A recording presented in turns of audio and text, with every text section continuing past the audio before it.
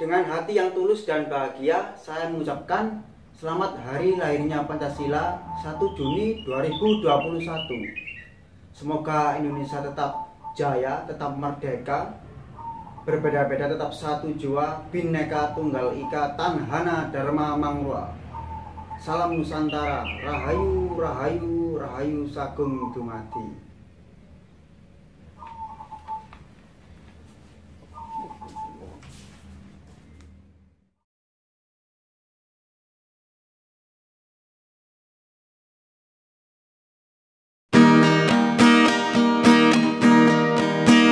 Garuda Pancasila Akulah pendukungmu. Patriot proklamasi Sedia berkorban untukmu.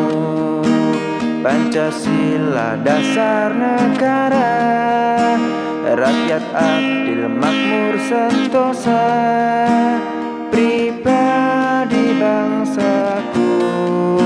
Ayo maju, maju, ayo maju, maju, ayo maju, maju. Garuda Pancasila Akulah pendukungmu.